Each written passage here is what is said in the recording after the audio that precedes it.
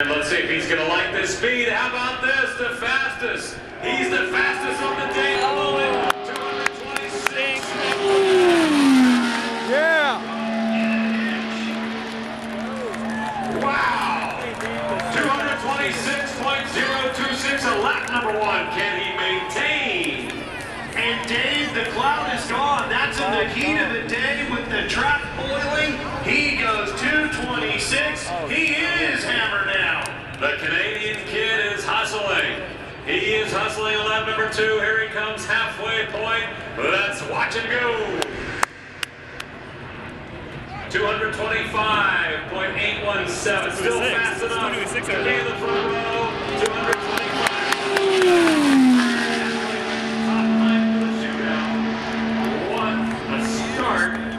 James Hinchcliffe.